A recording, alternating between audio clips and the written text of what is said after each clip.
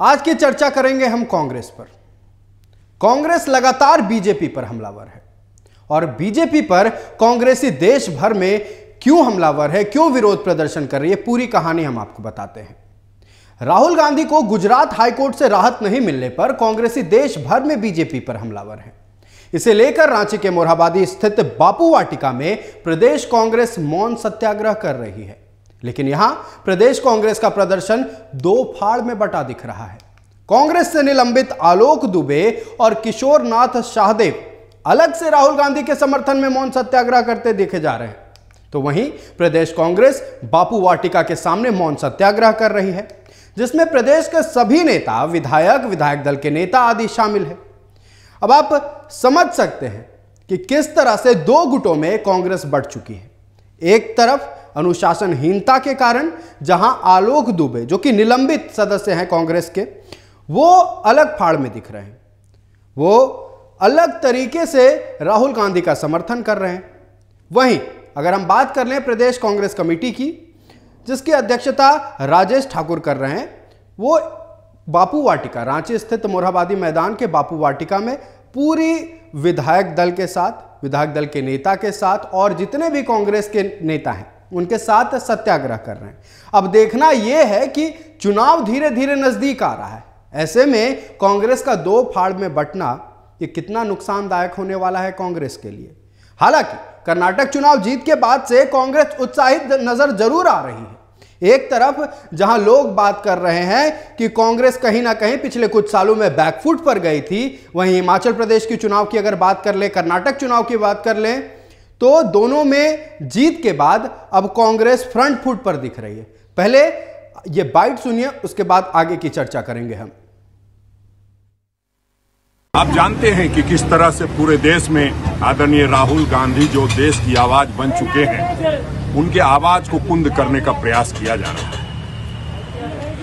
और जो एक साजिश के तहत सुनियोजित षड्यंत्र के तहत भारतीय जनता पार्टी के नेता अपने आप को मेहुल चौकसी, नीरव मोदी, ललित मोदी का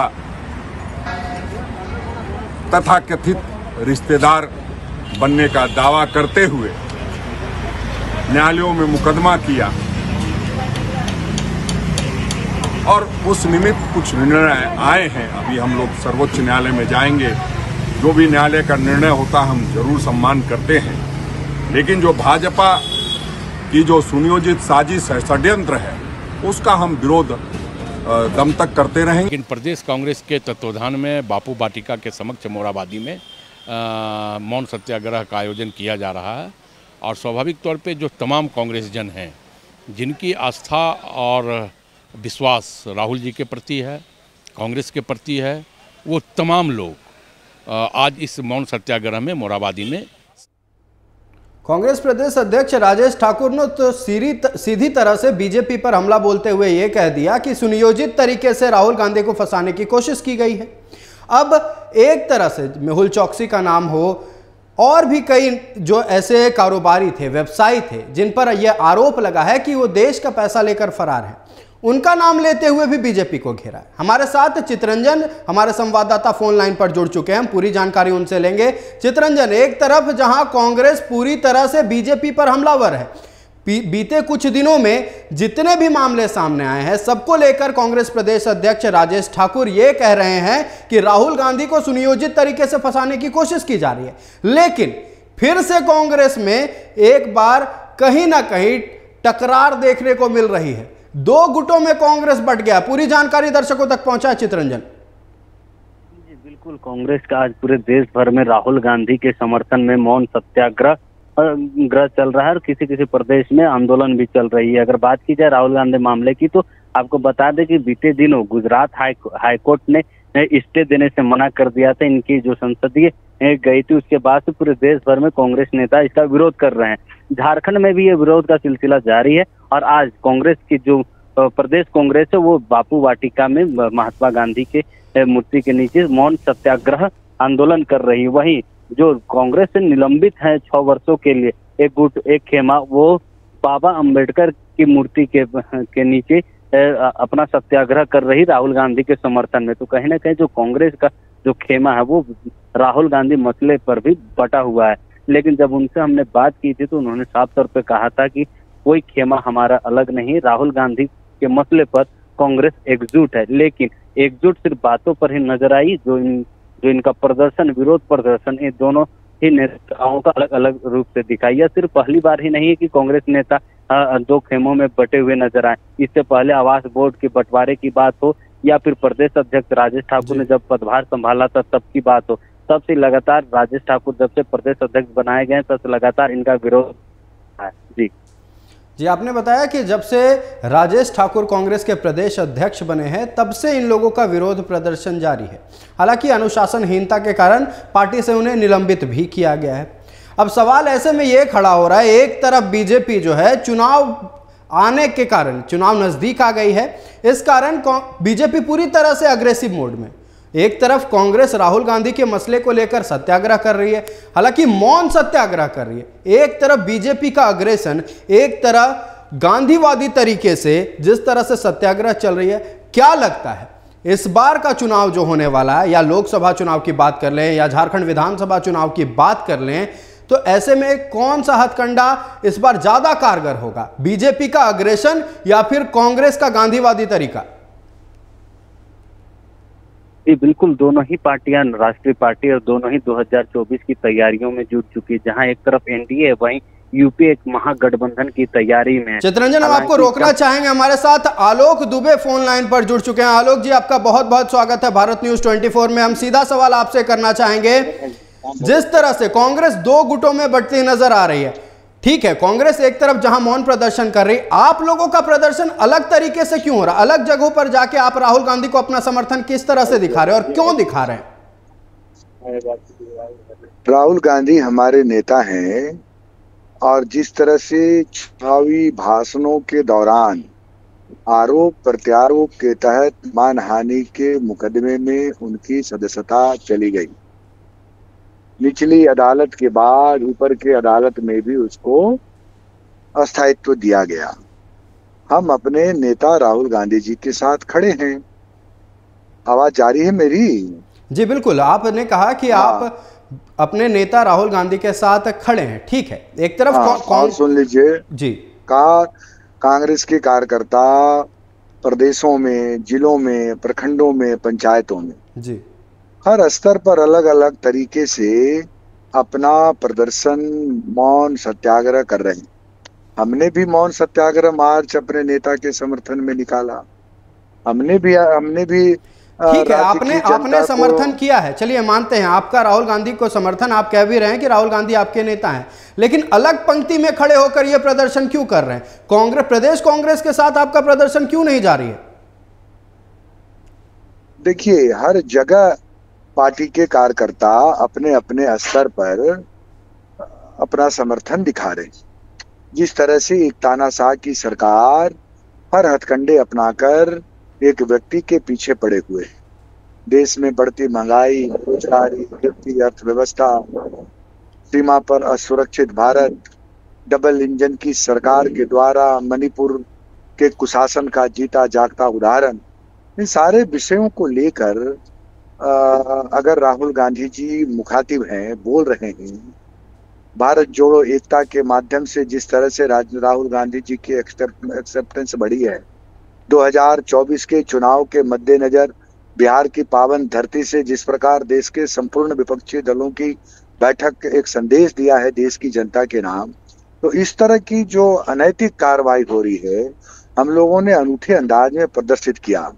प्रधानमंत्री जी के कटआउट को लेकर ये दिखाया दर्शाया कि उनके ऊपर के पॉकेट में सीबीआई और सीबीजी है बाएँ के पॉकेट में चुनाव आयोग है दाहिने पॉकेट में जो है सतर्कता आयोग है सूचना आयोग इस तरह से अगर आप कह रहे हैं तो आपने पूरी तरह से लोकतांत्रिक व्यवस्था पर सवाल खड़ा कर दिया आलोक दुबे जी।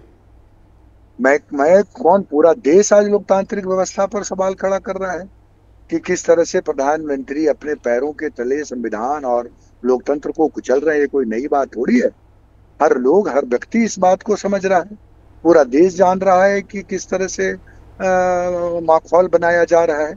अगर कोई अगर कोई आलोचना करता है केंद्र सरकार का तो उसको पहले से सर्टिफिकेट दे दिया जाता है कि आप देशद्रोही हैं मीर जाफ़र की संज्ञा दी गई है। और किस तरह से सोनिया गांधी के ठीक है हम मानते हैं। कमेंट्स किया आप है, आप तो विपक्ष ये में हैं आप सवाल हैं। उठाएँगे ठीक है हम ये मानते हैं। हमारा सवाल ये नहीं था हमारा सवाल ये था कि आप लोगों में मतलब प्रदेश कांग्रेस में दो गुट क्यों नज़र आ रहा है? एक तरफ़ आप लोगों को जिस तरह से निलंबित किया गया था और ये भी राजनीतिक गलियारों में बातें चल रही है कि राजेश ठाकुर जब से प्रदेश अध्यक्ष बने हैं आप लोगों का मन मुटाव रहा है। ठीक है अभी भी जब राहुल गांधी को समर्थन देने की बात आई आप अलग पंक्ति में क्यों खड़े हैं? यही सवाल हम आपसे बार बार पूछ रहे हैं। देखिए अलग पंथी की बात नहीं है। हम अपने नेता के साथ हम हर स्तर पर खड़े अपना अपना तरीका अलग है लोगों का विरोध करने का। मतलब आपका कांग्रेस प्रदेश के प्रदे, प्रदेश कांग्रेस के साथ आपका कोई मनमुटाव नहीं है? सीधे तौर पर आप ये कहना चाह रहे हैं। नहीं नहीं मनमुटाव नहीं। मैं तो मैं तो किसी भी सूरत हाल में नहीं चाहता हूँ कि ये वर्तमान प्रदेश अध्यक्ष के हाथों में पार्टी के नेतृत्व होनी चाहिए। वो उस लायक है ही नहीं उनके अंदर में क्षमता ही नहीं है। इज़ नॉट कैपेबल लीडरशिप कर सके प्रदेश कांग्रेस कमेटी का। वो तो किसी के रहमो करम पर प्रदेश अध्यक्ष बने हुए हैं। एक व्यक्ति जो आरपीएन सिंह जी जो पार्टी छोड़कर जा रहे थे बीजेपी में जाने के पहले उन्होंने इसलिए इनको बनाया कि वो इनके हथियार के रूप में काम कर सके। जी। और आज वही काम वो कर रहे हैं। तो विरोध तो विरोध तो सैद्धांतिक है हमारा। तो कांग्रेस आज भी अगर है। आप लोग अब अगर आप लोग ये विरोध कर रहे हैं चलिए ठीक है आपका विरोध आपके तरीके से शायद जायज़ होगा लेकिन इसमें आला कमान कांग्रेस आला कमान क्यों एक्शन नहीं ले रही है? कहीं ना कहीं आप लोगों का जो कहना है या फिर उनका जो कहना है इसके बीच में एक बीच का रास्ता तो होगा। या क्या आला कमान पूरी तरह से राजेश समर राजेश ठाकुर गुट का समर्थन कर रही है? या फिर आप लोगों को जिस तरह से निलंबित किया गया इसके बारे में आला कमान कुछ नहीं सोचती है? देखिए उनके तक बातें पहुँची। हैं अब पार्टी में निर्णय करने के लिए थोड़ा वक्त लगती है। जी। लेकिन मुझे पूरा यकीन है कि सप्ताह दस दिन के अंदर में फैसला क्योंकि पूरे देश में एआईसीसी के पदाधिकारियों की मनोनयन की चर्चा चल रही है। कई प्रदेशों के प्रदेश अध्यक्षों के बनने की प्रक्रिया चल रही है।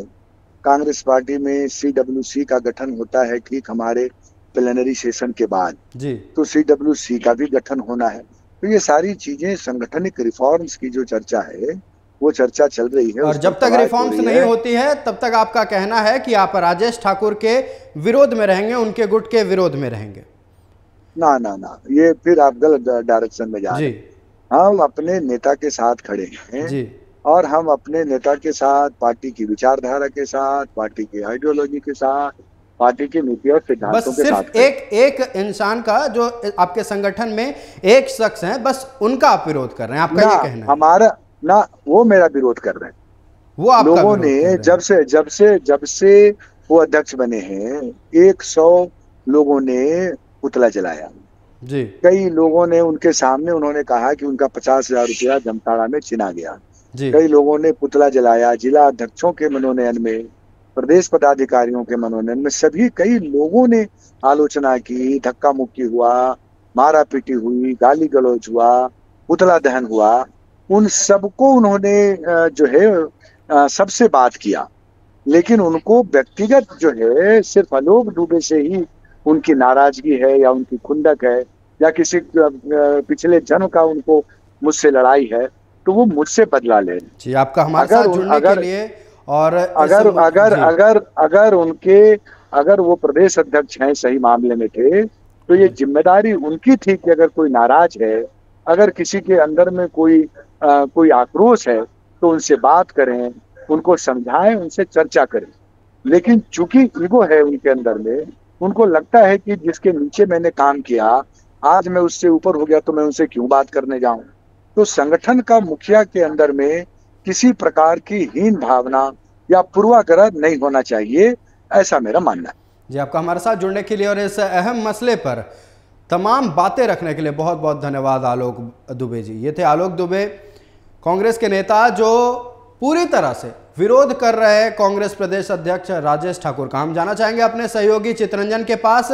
चित्रंजन, कठपुतली की संज्ञा राजेश ठाकुर को दी गई है आलोक दुबे के द्वारा। सीधे तौर पर यह कहा जा रहा है, उन्होंने ये कहा है कि हम उनका विरोध करते हैं। वो पार्टी के लोगों की बात सुनना ही नहीं चाहते हैं, उनके अंदर ईगो है। आप वहाँ जमीनी स्तर पर मौजूद थे, सारे विधायक विधायक दल के नेता, राहुल गांधी के समर्थन में मौन सत्याग्रह कर रहे हैं, राहुल, बीजेपी के खिलाफ मौन सत्याग्रह कर रहे हैं। ऐसे में आप बताएँ, राजेश ठाकुर को लेकर तमाम विधायकों का क्या कहना है? बिल्कुल, राजेश ठाकुर जब से प्रदेश अध्यक्ष बनाए गए तब से लगातार आलोक दुबे हो किशोर नाथ सहदेव हो या फिर राजेश गुप्ता हो, ये लगातार इनका विरोध करते हैं क्योंकि जब नया प्रदेश अध्यक्ष नियुक्त होता है, नई प्रदेश कार्यकारिणी बनती है तो कहीं ना कहीं पार्टी में एक विरोधाभास जिन कुछ नेताओं की निकलती ही ही है। ये तो स्वाभाविक है राजनीति में, खासकर कांग्रेस की राजनीति में, ये विरोधाभास हमेशा से देखने को मिल इससे पहले रामेश्वर उरांव की अध्यक्ष अध्यक्ष बनने की हो या उससे पहले डॉक्टर अजय कुमार की अध्यक्ष अध्यक्ष बनने की बात रही हो। इन जब भी कांग्रेस में अध्यक्ष परिवर्तन होते, नए अध्यक्ष की जिम्मेवारी दी जाती है है कांग्रेस के नेता, ये विरोध में आते ही हैं। लेकिन जब से प्रदेश अध्यक्ष की जिम्मेवारी राजेश ठाकुर को आला कमान ने संभाली, दी थी, तब से लगातार यह खेमा, आलोक दुबे का खेमा इनका विरोध न कर रही। और इनका जब आलोक दुबे या फिर बाकी नेताओं से जब बातचीत होती है सीधे तौर पे कहना रहता है कि हमारा विरोध प्रदेश अध्यक्ष राजेश ठाकुर के खिलाफ है, ना कि पार्टी के खिलाफ हमारी कोई गतिविधियाँ होती है। इसीलिए जब भी इस तरह का राष्ट्रीय नेतृत्व को लेकर कुछ भी विरोध आंदोलन या कुछ भी प्रदर्शन करने की बात होती है तो हमेशा कांग्रेस में दो खेमा प्रदर्शन करते हैं, जिसका आज आज भी इसकी इसकी देखिए कि एक खेमा जहाँ प्रदेश अध्यक्ष राजेश ठाकुर के नेतृत्व में पूरा प्रदेश का आला कमान, प्रदेश विधायक दल के नेता आलमगीर आलम सहित सभी विधायकों का यह ताक दिया गया था कि सभी विधायक चित्रंजन आपका तमाम जानकारी के लिए बहुत बहुत धन्यवाद। इस खबर से जुड़ी हर पल की अपडेट हम आपसे लेते रहेंगे। फ़िलहाल अपने दर्शकों को बता दें कि दो फाड़ में कांग्रेस बढ़ता नज़र आ रहा है। प्रदेश कांग्रेस हालाँकि राहुल गांधी का समर्थन ज़रूर कर रही है। आलोक दुबे भी राहुल गांधी का समर्थन कर रहे हैं लेकिन अलग पंक्ति में खड़े होकर। अलग पंक्ति में खड़े होने का वजह क्या है? वजह यह है कि उन्हें कांग्रेस के प्रदेश अध्यक्ष राजेश ठाकुर नहीं पसंद है। जब से राजेश ठाकुर कांग्रेस के प्रदेश अध्यक्ष बने हैं, तब से लगातार विरोध हो रहा है। आज तो आलोक दुबे जी ने बात करते करते राजेश ठाकुर को कठपुतली की संज्ञा दे दी है। कठपुतली की संज्ञा दे दी। अब ऐसे में उनका कहना है कि हम विरोध नहीं कर रहे हैं। राजेश ठाकुर हम सभी लोगों का विरोध कर रहे हैं। उनके अंदर ईगो आ गया है। अब चुनाव एक साल बाद है 300 से कम दिन बचे हैं। अब देखना यह होगा कि क्या कांग्रेस आपस में ही लड़ती रहेगी या फिर आने वाले चुनाव पर फोकस करेगी।